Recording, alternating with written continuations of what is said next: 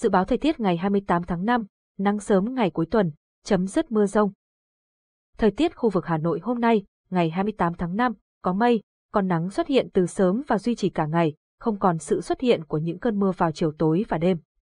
Nhiệt độ cao nhất ngày hôm nay dao động trong khoảng 33 đến 35 độ, nhiệt độ thấp nhất đêm nay rơi vào khoảng 25 đến 27 độ. Cụ thể, thời tiết tại thủ đô Hà Nội trong khoảng từ 7 đến 19 giờ, có mây, trời nắng, gió đông nam cấp 2 đến 3, nhiệt độ cao nhất 33 đến 35 độ, độ ẩm trung bình 70 đến 80%, khả năng mưa 0%. Từ đêm đến sáng sớm hôm sau, khoảng 19 giờ đến 7 giờ, trời nhiều mây, không mưa, gió đông nam cấp 2 đến 3, nhiệt độ thấp nhất 25 đến 27 độ độ ẩm trung bình, 80 đến 90%, khả năng mưa 0%.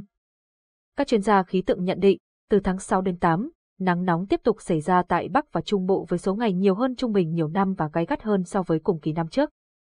Đặc biệt, mỗi đợt nắng nóng thường kéo dài 5 đến 7 ngày, nhiệt độ cao nhất ở miền Bắc khoảng 37 đến 38 độ, miền Trung 37 đến 39 độ, có nơi cao hơn từ 40 đến 42 độ.